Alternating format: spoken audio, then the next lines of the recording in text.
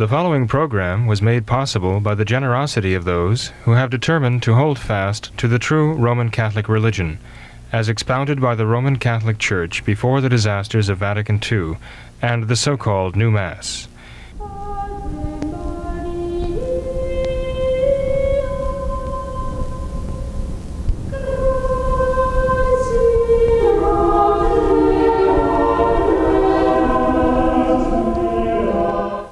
Welcome to What Catholics Believe.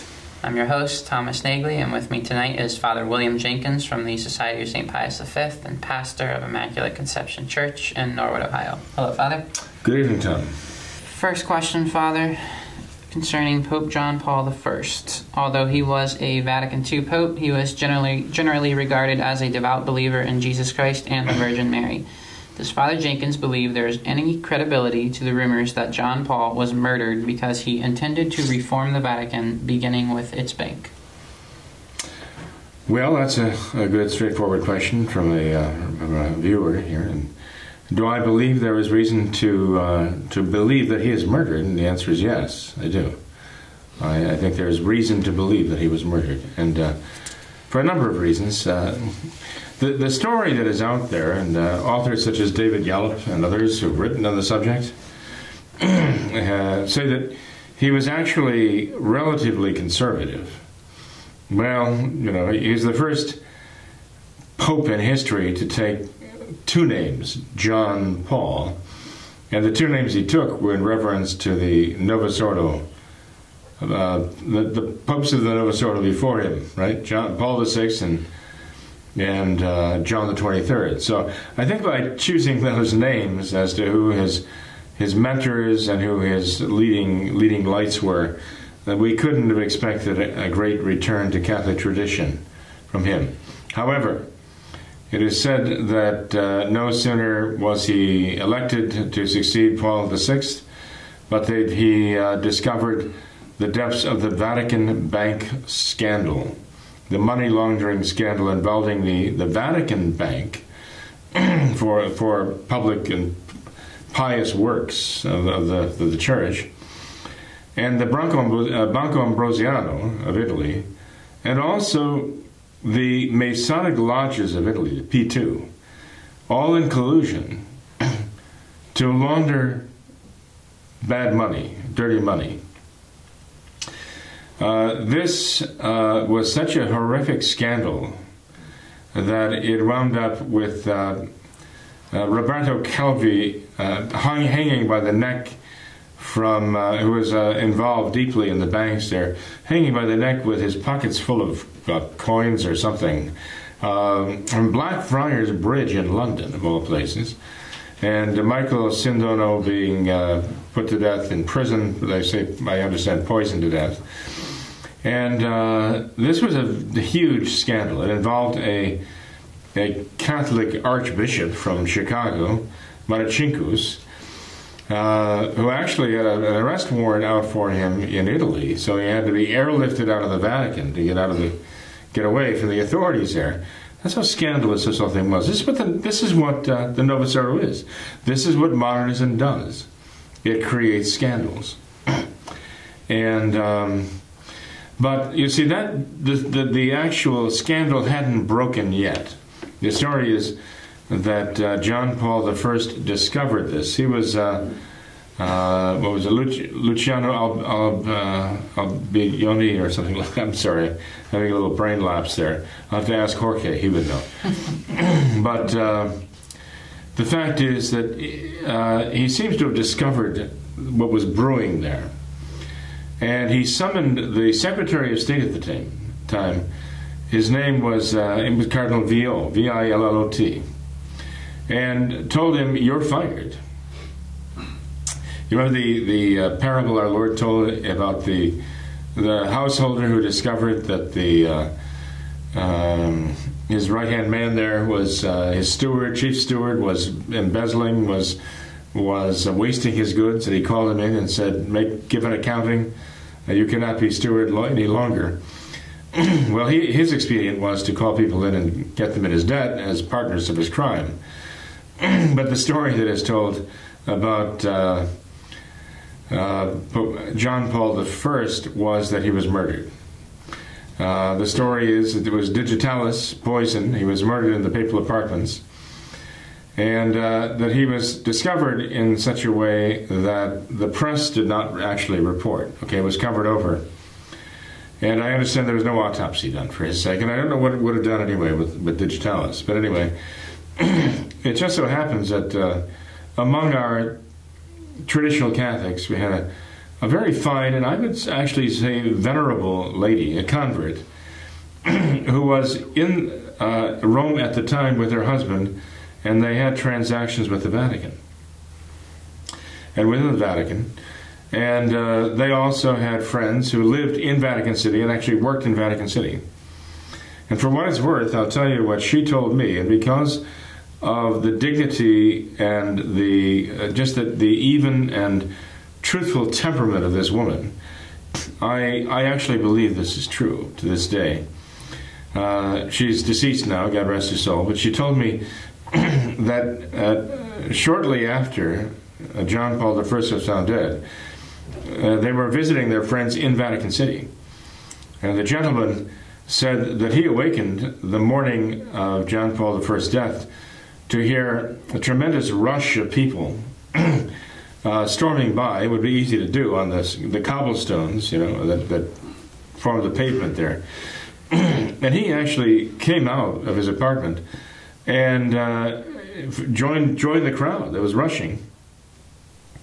They were the uh, the uh, Vatican uh, police and so on. He, and he actually ran with them up through the papal apartments and actually came to the room in which John Paul the first body lie, lay there. He said he that he was found there sprawled out on the floor, quite purple and quite contorted. And uh, as soon as they overcame their shock and noticed his presence there, they hustled him right out of the room. But it wasn't just uh, a fact that uh, John Paul I just sort of passed away quietly in his sleep in bed. Uh, not at all. So uh, there, there was something going on there. And by the way, I think what also makes it very credible that John Paul I was murdered because of the chicanery going on and levels in the Vatican. And the murders that have been publicly um, reported since then. High level uh, Swiss guards dying suddenly, murdered, right? Right in the Vatican. And uh, the fact that they found in the apartment where the body was found more than one glass, uh, drinking glass, and apparently there were there were other people present there, but they weren't there when the body was found. Who were they and where are they? That's the question. And they found uh, uh, leaks of Vatican information, uh, secret Vatican information that came out through uh, uh, the Ordo Pope's own own like right hand man or, or, confidant, right? I forget what what post he actually held officially. and here he was imprisoned in the in the Vatican for a while for having passed that information to the outside world, uh, to journalists in the outside world. There's so much ferment going on there right now, and uh, at, at all levels in the Vatican. And it's just it's just worse, manifold worse under Francis. The intrigue and the uh, the, the double uh, behind the scenes dealings, you know. Mm-hmm. But uh, shortly after John Paul I died, all of this hit all of this hit the press about the the um, the, the, the, Vatican Bank scandal. People can look that up, check it out, read what it was about. And uh, it might have been the occasion of the death of John Paul I. I happen to think that, in fact, it was. You know, Father, there's another theory going around considering this whole ordeal, and I, I recently encountered this in a, a documentary where they uh, they suggest that perhaps it could have been traditionalists that if that, that worked this murder because of the um, the I guess the radical nature of, of John Paul I and how he wanted to uh, kind of give his stamp of approval to contraception and birth control and these new age ideas that were coming about, and so it was actually the traditionalists that wanted to prevent that from happening, and it was traditionalists that, uh, that, that made all of this happen and that caused him to be murdered. How would you? That is a new one on me. Yeah. And you know what? That's the most absurd, ridiculous thing that I've I've heard. They're they're really desperate, aren't they? Yeah. Really desperate. Yeah. You know, i- i- that is akin. That is sort of on the level of of Nero blaming the burning of Rome, uh, of, of old Rome, on the Christians, right? Uh, you know the the story about Nero fiddling while Rome burned. Yeah. I mean, it's it's well known that he torched Rome because he wanted to clear out the the, the masses. He burned out a square mile of the, the heart of old Rome in order to build his Domus Aurea for himself, his golden house. right? He relocated all these people who were not killed but now were homeless. He relocated them out toward where the Vatican is now, in tent city out there. And in order to cover his tracks, because the people were begin to uh, beginning to uh, catch on as to what happened, he blamed it on the Christians, and they were, of course, easy targets back then, and still are in many places. But this this story, I will give them a, a, a Z minus for truthfulness and an A plus for inventiveness uh, and, and sheer. Uh, I mean, if one were to have a contest to see who could come up with the most fantastic, absurd story, I, I'd say these people would probably win. Anyway, what do you think of that story? Uh, I agree with you. sounds sounds pretty good. Oh boy. Uh, okay, well, Father, let's move on to another question here, another email that we received from our viewers. What does the church teach about first cousin marriage? May one marry one's first cousin in the Catholic Church? From what I understand, because it goes against ecclesi- ecclesiastical law but not divine law, a dispensation from a bishop can be obtained, as was the case in many historical circumstances with the royal families of Europe, etc. In our time and this crisis in the church, from whom would we obtain the dispensation? In the first place, would the church grant this type of dispensation in this day and age? To my knowledge, no. I don't know of any exceptions to that. Okay. Honestly. Um, uh, granted by the church, first cousins to marry. Um, nothing comes to mind, and uh, uh, that doesn't mean it's never happened. But I can't see such a. Personally, I, I don't know of any such dispensation granted. Certainly not to that close degree of kinship, anyway. Uh, it's common in Islam. Um, somebody even suggested this might explain some of the uh, the problems in, let's say, the Islamic temperament toward violence. but uh, uh, and not I, but some uh, actual card-carrying bona fide psychiatrist and, and I think a psychologist have actually expressed that wonderment. Why is there such such a a proclivity toward violence? And this is one of the answers that they suggested. but in in the Catholic Church, uh, to my knowledge, that is that has always been prohibited. Would it be possible for the church to grant some kind of dispensation in this day and age when, when it's so hard for Catholics to find suitable? I don't think I don't know that you know there are certain uh, impediments that are ecclesiastical and uh, that are uh, given by the church, and the church can dispense from those. But there are certain impediments that are laid down by divine law, and um, the church cannot dispense from those. So, I mean, I could be wrong, and maybe our reader who says that there are examples of this would enlighten us both, maybe in, in giving us an account of some of them. I'd appreciate it if he would. Uh, but I, I personally, just right now, don't know of any. Now, after the program, I would think, oh, yeah, that's right. uh, there was this and there was that. But right now, I can't think of any, and I, there's none come to mind. And uh, I would be, frankly, all I can say is I'd be very surprised to find that the church not only would, but even could grant such a dispensation. Um, but, uh, but I could be wrong on that. I'll, I'll have to double check on that. Okay. You know, Father, a, a related question, which uh, traditional Catholics face a lot. I actually had someone recently address this to me.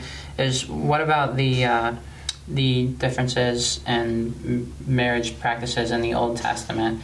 Uh, for for example, you have uh, Jacob marrying uh, his his uh, he he married Leah first, I believe it was, and then Rachel after that, and then he had he also bore children with with several different handmaids and and servants. And so, what why why is it that this polygamy and and uh, plurality of wives was granted in the Old Testament, but today that that's prohibited? Why is there a difference in marriage laws in the Old Testament versus Well, the, the I believe the fathers explained that after the flood and the devastation of the human race, decimation of the human race, even more decimation, um, that God allowed, for the sake of this, the primary purpose of relations, that is, giving life, He allowed a derogation from the secondary purpose, which is the unicity of the uh, of the bond, meaning that he could allow uh, a man to have uh, relations with women for the sake of repopulating the earth. Now you couldn't do that, and I couldn't do that, but God could, if He so chose, because we know that the primary essential purpose of marriage and marital relations is the sake of giving life. Mm-hmm something that the modern world doesn't want to hear and won't accept, but uh, it is a fact. That's God's purpose. The secondary essential purpose is the mutual support and care of the husband and wife for each other, uh, or the, the, the fidelity to each other. Right? Um, could God actually derogate from the secondary cause for the sake of promoting the primary purpose? Uh, that is, of giving life and repopulating the earth the fathers of the church said that he could do so. In fact, he did so. Was there a watershed Father, when, when, when God said, up to this point it's been acceptable to, to do this, but from here on out it's not acceptable anymore? Was there a specific time when, when our Lord said that, or how did the human race know that this, that this practice is no longer acceptable? Well, in the time of Moses, of course, the Ten Commandments, there was a, I guess you might say, a, a tighten, tightening up of the rules as they had been known from the time of the fathers, uh, the patriarchs, to the time of Moses. Even then, there was a certain latitude, but nonetheless, I mean, God made it very clear uh, through the Decalogue and also in in what followed. Um, for example, the slaying of twenty three thousand because of their fornication in the desert. Um, that he was not going to allow that or tolerate that any longer. We shouldn't really be surprised at that, though, because God could actually tolerate things uh, that are evil, because that's what toleration means. You tolerate something that is evil. Right? Very definition of toleration. And we know for a fact that God did tolerate, according to the Mo- Mosaic law, men putting away their wives and taking other wives. He tolerated divorce. Not that he uh, condoned it, but he tolerated it. When our Lord came, he completely banned it. Uh, when he was confronted with the question of whether a man could put away his wife and take another, our Lord said, no. And when it was objected, well, Moses said we could, our Lord said, Moses uh, basically tolerated this because of the hardness of your hearts. But it was not that way in the beginning, and it's not going to be that way from now on. And our Lord made it very clear. He said, A man who puts away his wife and takes another commits adultery. And the woman who takes another husband commits adultery. He was very emphatic about it. This is one of the reasons why, Tom, the, uh, the, the these people hated him. Because he was actually accusing those who'd been doing this, the Pharisees, Sadducees, and so on, he was accusing them of being adulterers. He was accusing them of actually committing adultery. Well, they were they were the ones who sat in judgment and killed the adulterers. If they caught an adulteress, they, they would kill her. They were they tried to once. They brought an adulteress to him, and said Moses said she should die. What do you say? And then our Lord now is here telling them that they actually also were were doing what is really adultery, and he he banned them. He forbade them to do it. They hated him for that. As you recall, even the apostles later afterwards came to our Lord and asked him, How can this be? It was just taken for granted. Uh, but uh, some people have a hard have a hard uh, time understanding how this could be. that uh, in the law of Moses, and even in the Ten Commandments, as uh, they were brought down from Mount Sinai by Moses, the last commandment was, and you can look this up in Exodus chapter 20, the last commandment was, Thou shalt not covet thy neighbor's house, semicolon, neither shalt thou desire his wife, nor his ox, nor his ass, nor, nor his maid's his manservant, nor his maidservant, nor his ox, nor his ass, nor anything that belongs to him. So not only did the wife not come first, the house came first. The wife was listed, but she was listed with the slaves and with the livestock. Now one would read that today and say, "My goodness, you know, this can't be. This isn't God's uh, desire. This isn't God's way of looking at the woman, right? He he created the woman to be the companion and the helpmate and the supporter of man, right? And uh, flesh of his flesh and blood of his blood, right?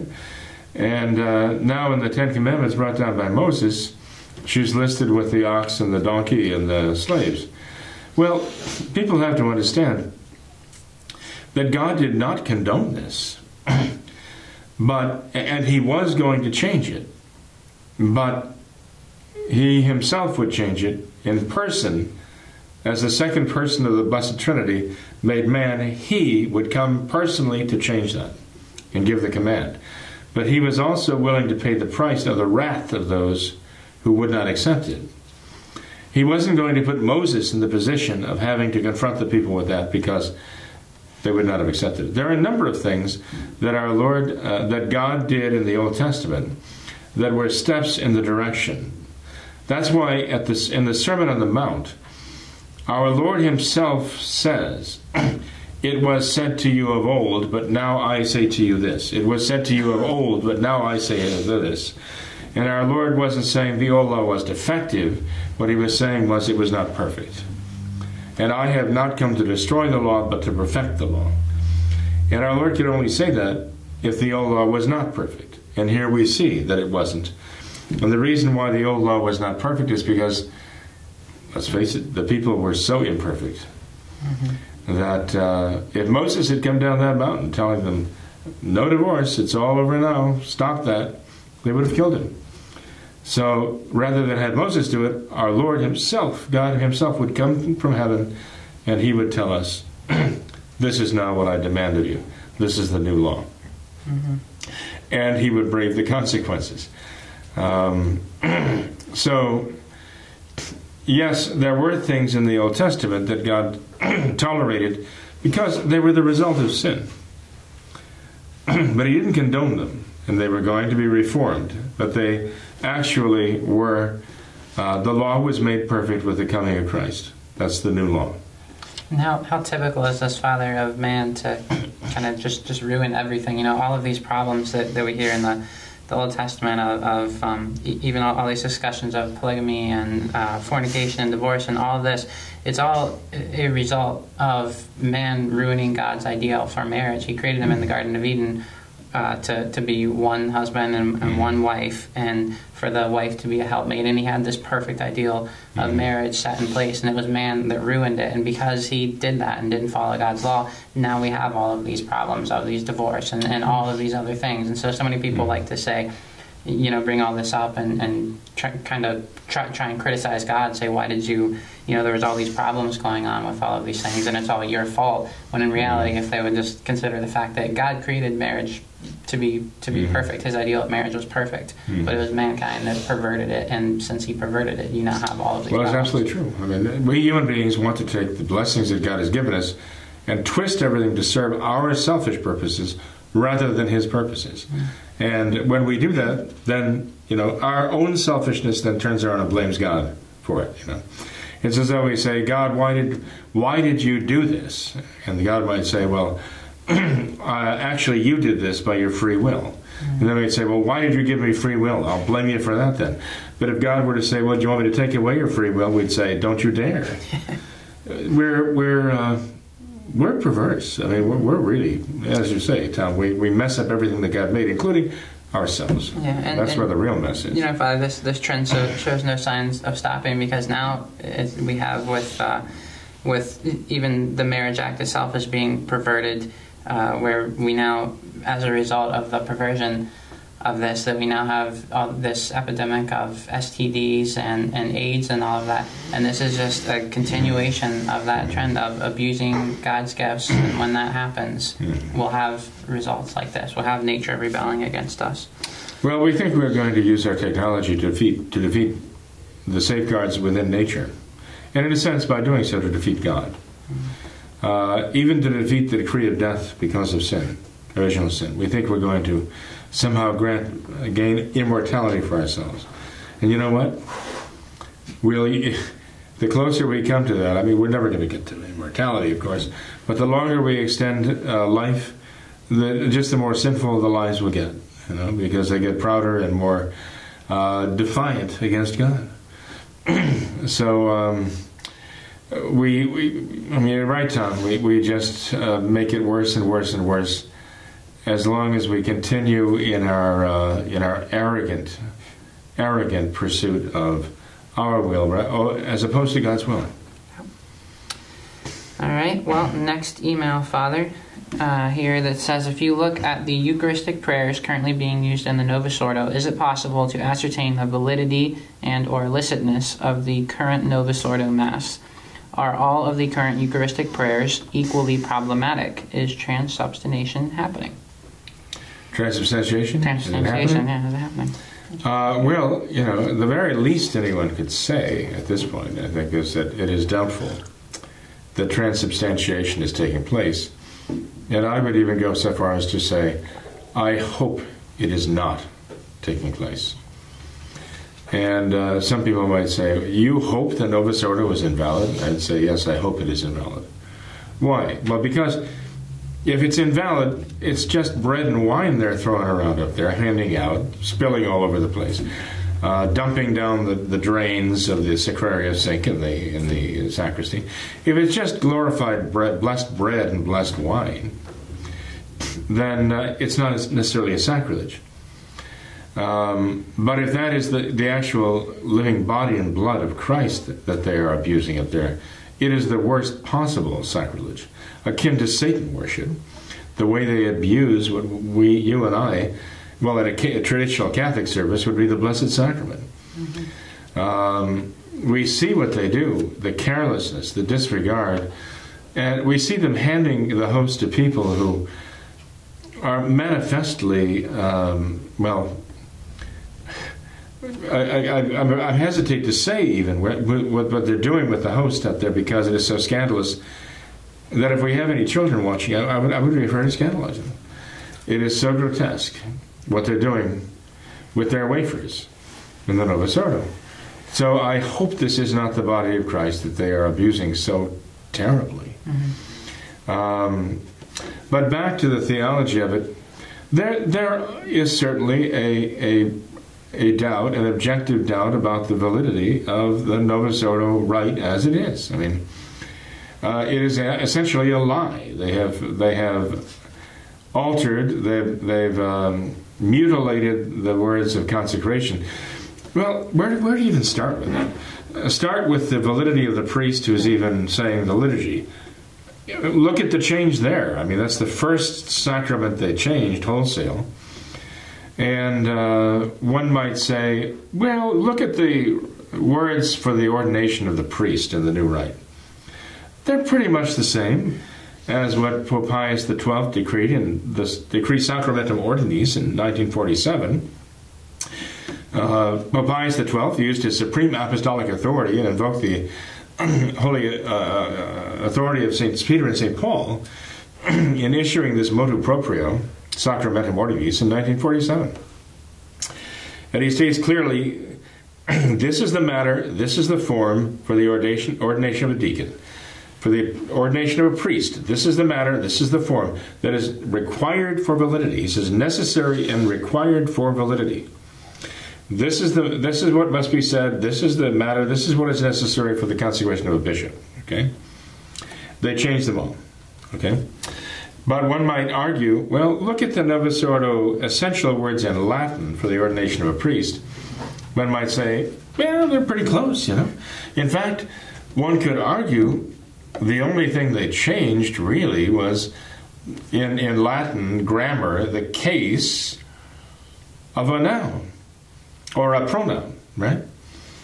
So, I mean, what possible difference could that make? Well, it's funny to think about that. That's actually a good question. There's actually a very interesting answer to that.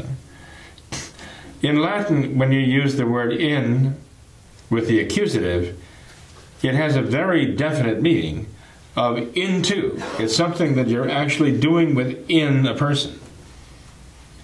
And when you change that from the accusative case to the ablative case, in and the ablative does not mean that.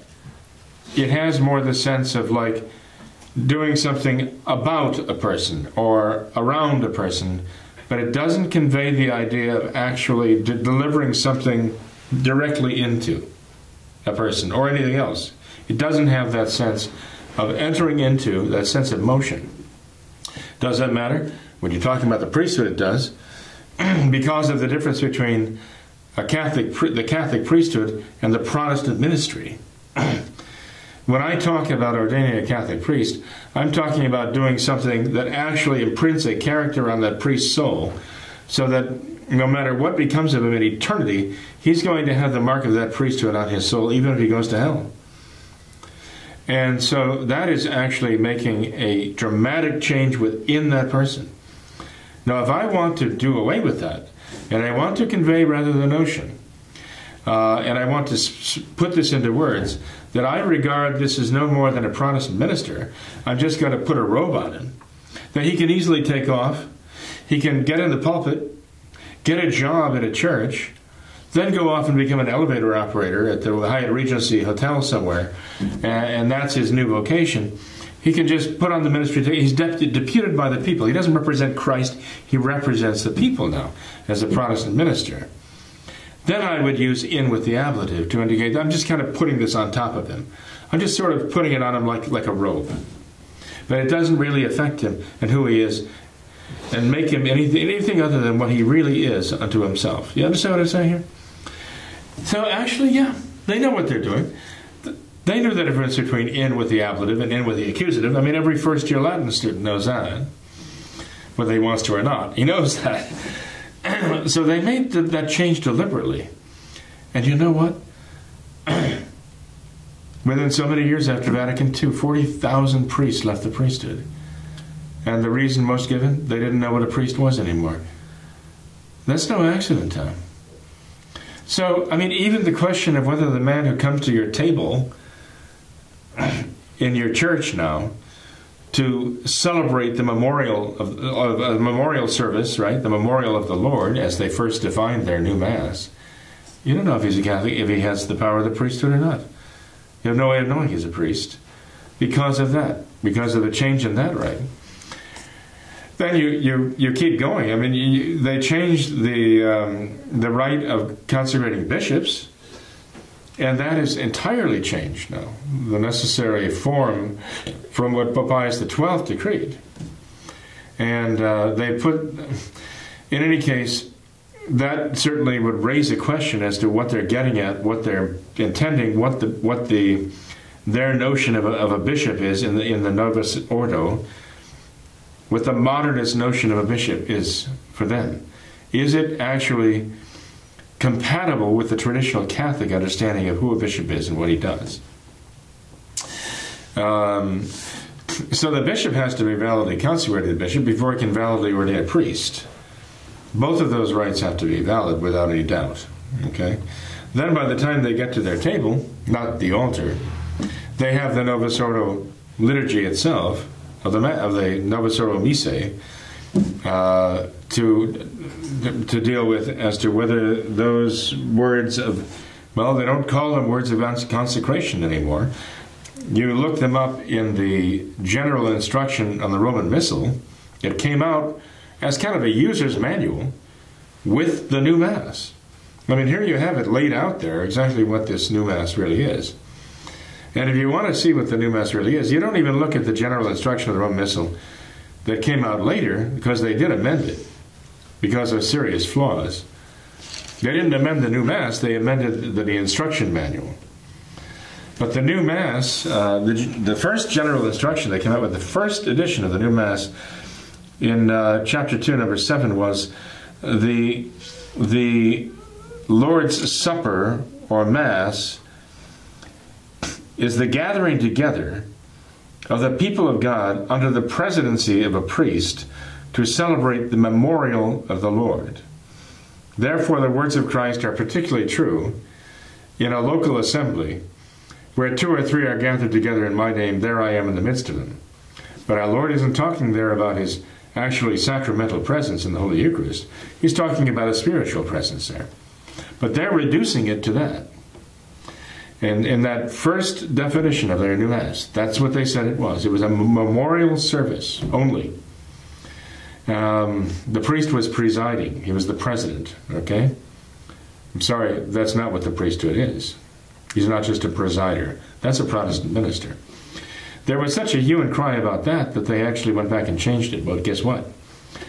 They changed the definition, but the thing stayed what it was. They didn't change the new Mass, they didn't fix it. It still remained the memorial service, only that, even though they changed the definition to make it sound more Catholic. It didn't change the new Mass itself. So when we read the, these, uh, this general instruction that is the official commentary of what the new Mass was, we read not about words of consecration. We read about we read about a narrative of institution, is what they called it. The story of Christ at the Last Supper. That's what they're saying. They're telling a story. That's what a narrative is, right? The narrative of institution. And time and all throughout their new mass, they go back and forth between body and blood, bread and wine, body and blood, bread and wine, body and blood, bread and wine. They're constantly going back and forth between the two. So you can decide if you're a good Lutheran or a modern Catholic whether you believe it's really the presence of Christ or just bread and wine that symbolizes his body and blood. After all, Francis already said they believe as the Lutherans do in terms of justification and salvation, so why not that too? In other words, the question is, is a very complicated question. But no matter how simple an answer you give or how complex the, an, an answer may be, it all points in the, in the same direction. It's very doubtful. and uh, that it is valid. And that in many ways it would be much I won't say better because better is a comparison of good, better, best. But this is not that. This is a matter of bad, worse, and worst. So I would say if it is in, if it is invalid, it is very bad. If it is valid, it is much worse. Father, a little bit of background. Aren't you glad you asked? This, uh, this, this, this is a newer viewer that, that received this email from. Said, uh, um, I've been watching your program since late December when recent events sent me searching for more answers. I have a, a uh, related question here. Um, can you comment on the distinction between validity and licitness and their application to a Novus Ordo? Is the new mass valid but not licit, or is it not either? Is it not valid nor licit? The new mass is certainly illicit, and that it violates all of the all of the traditional decrees about the mass, all of the rules, all of the laws, all of the statements of the church about the mass. It violates them all. And uh, so it is certainly illicit, illegal in terms of the traditional Catholic faith, there's no doubt about it. It has been condemned legally by the traditional Catholic Church for yes, centuries. The elements of the new Mass have all been uh, dealt with, addressed, and condemned. Um, and, and, again, the, the validity is the, the, very least you can say about it is that it is doubtful. Mm-hmm. Okay?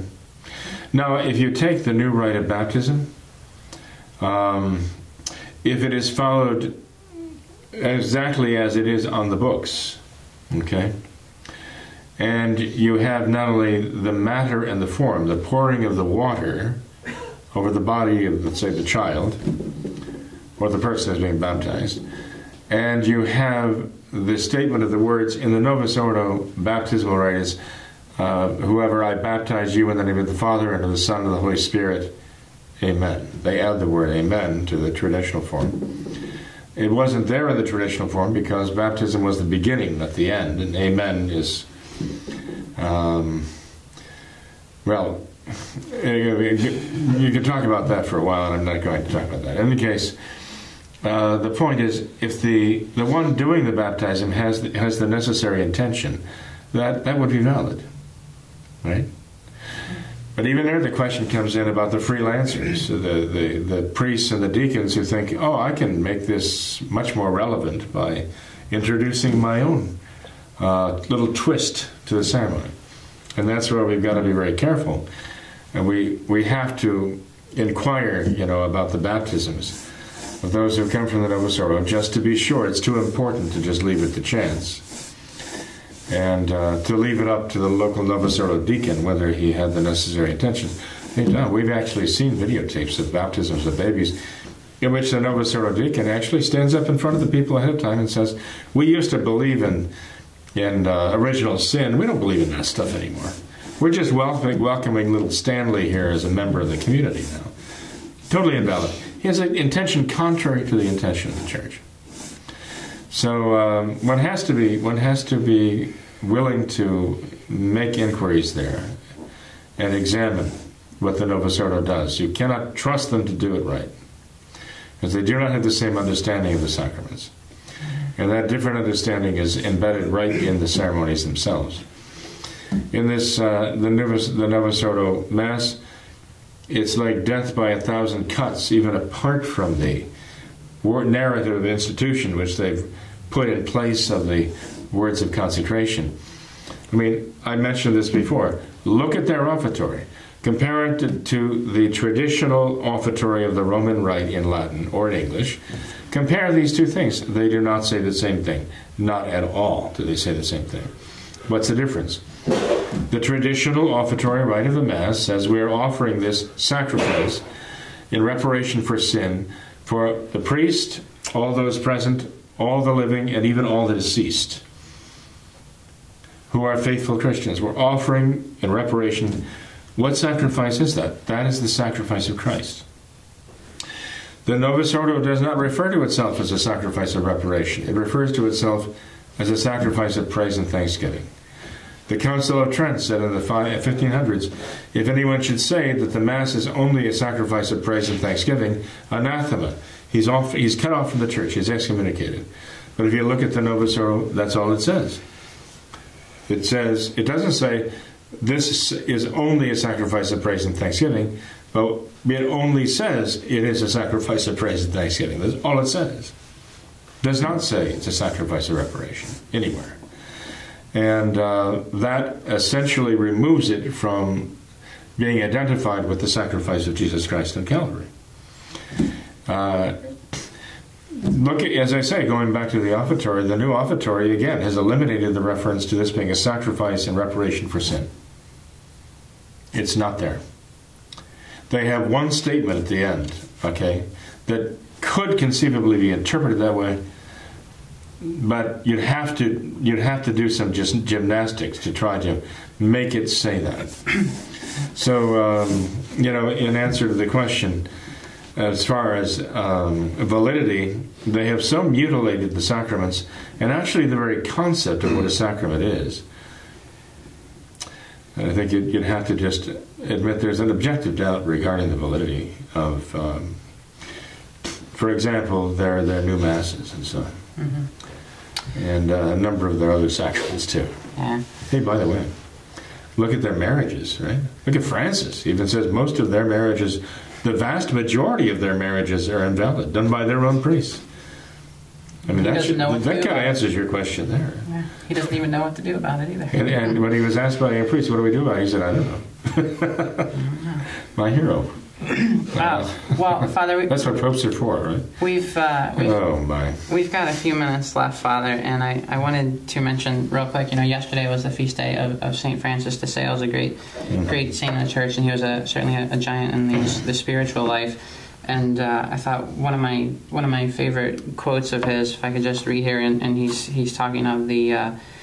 The sanctification of man and his perfection and what that consists of. And he says that some place it in austerity, others in giving to charity, others in frequenting the sacraments, others in prayer. But for my part, I know no other perfection than loving God with all one's heart.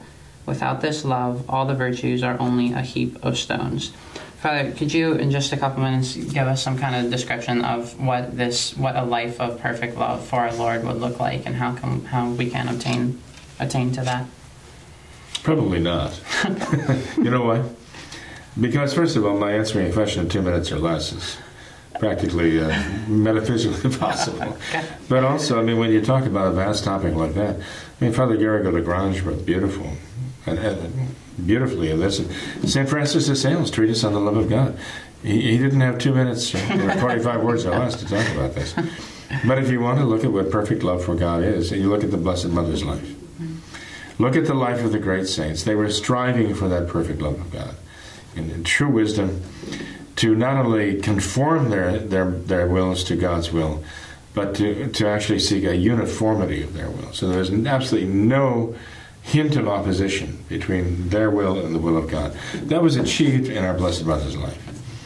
So that is why you know she's held up held up by the church as a as an ideal, the Mary Immaculate, you know, uh, conceived without original sin and never did the slightest sin uh, attack her soul or besmirch her soul, as it were, um, stain her soul because never was there a rebellion in her will against the will of God. Temptations, yes, yeah, temptations. Um, and some, well, obviously, you know, her, the death of our Lord, her Son, who she loved so unspeakably. Know, she loved with all her heart and soul, mind and strength. I mean, that's how she loved him as her God, and and she wholeheartedly accepted that because it was the will of God. You know, we talked not long ago about the the fact that when the Blessed Mother and Saint Joseph found the child Jesus in the temple after three days of anxiety looking for him. that they did not understand what our Lord said to them when he answered, I must, did you not know I must be about my Father's business? And some people regard that as almost uh, raising the question of whether Our Lady really knew what our Lord was there to do. Did she not know that he was there to do his Father's business? Did she not know what Christ himself, her Son, had come to do? Uh, she did know. She did know very well. One commentator said she just didn't know exactly how it would be done. But you know, in, in that particular question, we have to step back for a minute. We have to realize something. And it's what comes immediately afterwards.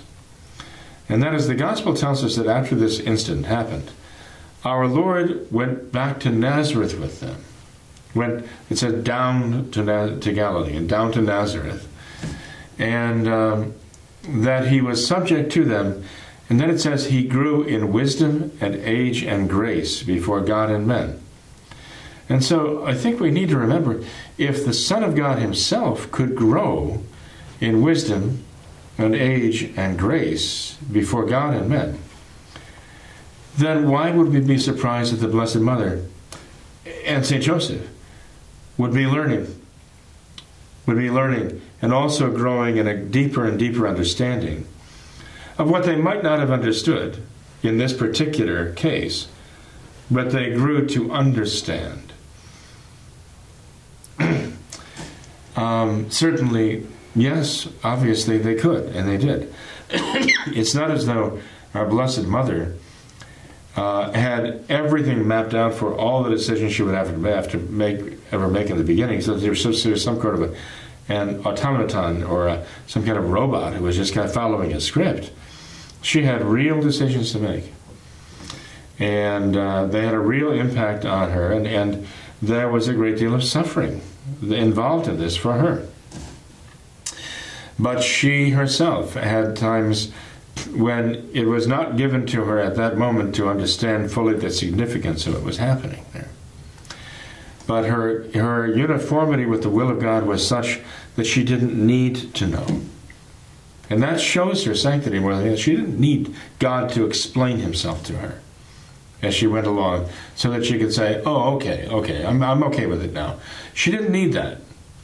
because her will was absolutely uniform. All she needed to know it was that it was God's will, and she didn't ask further. She was willing to wait at God's good time to understand uh, what what her, her role and what her obligation was in the practical order. Um, did she know when she went to the wedding feast of Cana later on in life, 18 years later, that they were going to run out of wine and she was going to ask our Lord to work a miracle there? When they went to the marriage feast, I don't think that the Blessed Mother, you know, had sent ahead for word how much wine they had and how many guests they had and what was the likelihood of running out of wine. No, no. But she was responding to a grace at that moment to know what to do. But that was the occasion. And, uh, and she responded to it, and uh, the result was that the Blessed Mother was the one who actually made the call for her son to be about his father's business at that moment. She was actually answering what was done 18 years before when our Lord said, I must be about my father's business. She is the one who, who actually asked him to begin the road to Calvary uh, through his public life. So, um, if we're going to look did I did I talk for more than two minutes? uh, uh, if we're going to look at, at, a living, breathing example of perfect love for God, we really have to go to our Blessed Mother. Mm-hmm. St. Francis de Sales would tell you the same thing, but he would have said it in two minutes and or less and much better than I did. Yeah. Father, you know we have a, uh, a, a super moon out there tonight, and as I was as I, I, was I was driving home this evening, it kind of uh, came up over over the horizon as I was going up a hill, and it's just uh, breathtaking to, to see the, this super moon out there. And you know how the, the the moon is often used as uh, some kind of metaphor to give us an idea of the the glory of the of the Blessed Virgin Mary. And I, I had this this thought, Father. You know how um, in, in sacred Scripture and in the lives of the saints we read over and over again about. Uh, and the, the, the, angels' various interactions with man, how man is always exceedingly afraid when the angel uh, when the, an angel will appear to him, and it, it, seems that there's many cases where the angel's first words is "Do not be or do not be mm-hmm. afraid," mm-hmm. and and you know, and uh, I believe Saint Thomas says that it's only the lowest choirs of the angels that that come to earth and mm-hmm. and deal with man. And you know, if, if man is so so terribly afraid, so amazed, so impressed by one of these lowest of the angels. Can you imagine it, it, when in, in, heaven the, the vast choirs and choirs of angels? You know, I've, I've read that some theologians say that uh, that the lowest choir of angels, the, the, the simple angels, that the number of angels in that choir will be ten times the amount of all the human beings that have ever lived on earth. This is a, a rough estimate, and if we run that math now, you know, there's some rough estimates that say there's somewhere around 100 million or 100 billion human beings that have lived up to this point. So if we assume that's fairly accurate, that times 10 will tell us that there's somewhere around 1 trillion of these angels in the lowest choir. And the choir above that will have 10 times, so 10 trillion, 100 trillion, all the way up. And if you, you know, you think of just one of these lowest of the angels has this amazing power of a man just to render him just dumbfounded. Well, some have had such visions and thought that they were having a vision of God. And it's, the angel had to tell him, "I'm a creature like yourself." Yeah, and it's and it's one one angel, one of the lowest. And if you, I mean, it's absolutely incomprehensible. To there, there's these these trillions and quadrillions, quintillions uh, of angels, and even higher higher degrees, multiple degrees higher than these lowest of the angels. You think of the cherubim and the seraphim and all of that's just absolutely incomprehensible. And you think of all of that and how great and how amazing that is. And then you have the Queen of the Angels, mm-hmm. who actually dwarfs all, all of these mm-hmm. all of all of these vast vast multitudes of, of angels. They are in admiration of her. Yeah, I think that, that's all just of them. a um, that's astounding. A uh, yeah, um, mm-hmm. yeah, amazing, that's amazing. Thought. Wonderful to think about. Yeah. Definitely. And you know, really, the key to understanding our Catholic faith is the Catholic Church's teaching on heaven. Everything has to be understood in the light of that, because that is the goal everlasting life. And I think that's a lot of prob- uh, a big problem that a lot of Protestants have. They don't understand the Catholic teaching on heaven. And if they did, they would see how everything makes perfect sense in light of that. But Protestants don't really have necessarily an understanding that the, obviously the Catholics have and the Catholic faith has of what heaven, what everlasting life really is. Um, but the vision that you just described here uh, is very well said, Todd, very eloquently said, and uh, powerfully said.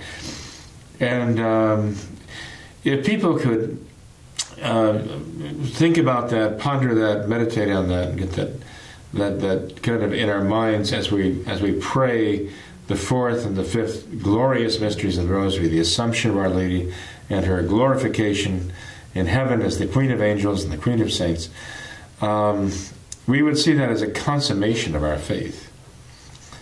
And why we, why we have the closeness to the saints that we do, why we realize that they are so close to us, because they are united us to us to the, the, the, the mind and the will of Almighty God Himself, and what they contemplate in the mind of God.